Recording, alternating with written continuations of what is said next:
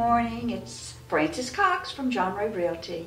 We appreciate your viewing this, and I want to introduce you to Nell Calloway, who is the director of the Chennault Aviation Military Museum. And we're standing in front of my uncle's room. He was a prisoner of war during World War II, and his name is E.D. Beauchamp. Now, do you just have exhibits from World War II here at the Chennault? No, we, we encompass all the wars from World War One through Iraqi freedom, and we're working on getting Afghan Afghanistan exhibits right now. Um, but we really, the thing that we always tell people is that we have so much to be proud of being from this area. The building that we're in is one of the last remaining buildings of the largest navigation school during World War II. We graduate over 15,000 navigators from this area. And then we also were the home of Delta Airlines, which we're real proud of. We have a lot of Delta people who enjoy coming and looking at the exhibits about Delta. Wasn't Delta a crop dusting? It was? Huff Daland Dusters. Is that what it was? And they decided to start doing passenger travel because you could only dust the crops a few months out of the year.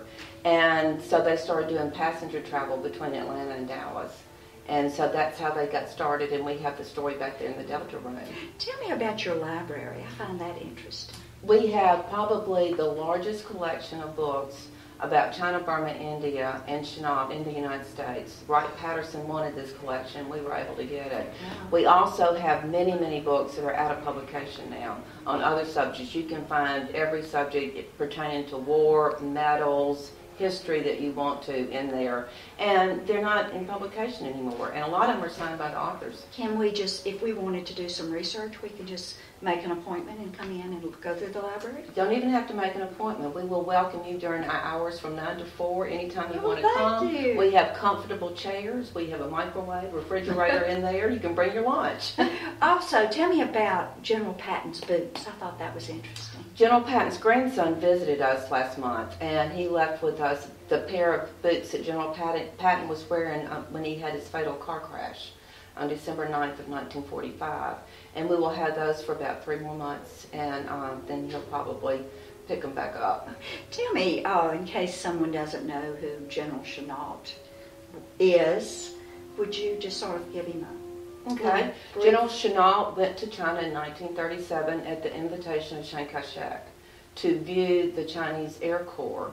Uh, a lot of people don't realize between 1931 and 1945, the Japanese killed between 25 and 50 million Chinese people.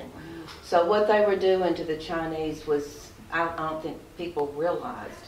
And when Chennault got over there, the war started shortly after, and he volunteered to Chiang Kai-shek to stay and help in his efforts. And within a year, he was actually put in charge of the Chinese Air Corps. And then in 1941, uh, he was able to talk President Roosevelt into allowing some of the men from the Army, the Navy, and the Marine Corps to resign their positions and to be hired by the Chinese government. And these became known as the Flying Tigers. That's right, yeah.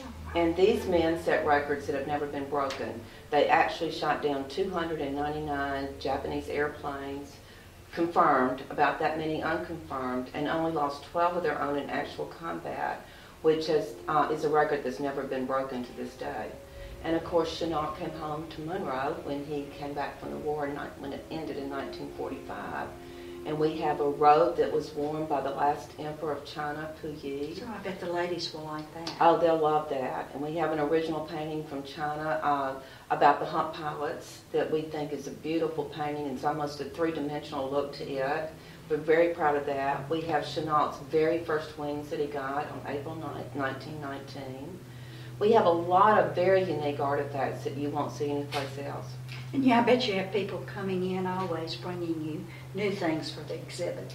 We change out, we try to change our exhibits out every few months, some of them, mm-hmm. and replace them with the new things that come in. And we do have a room that's dedicated to changing exhibits. So every three months, you'll see something different in this room. Very interesting. Thank you, Nell. Mm-hmm.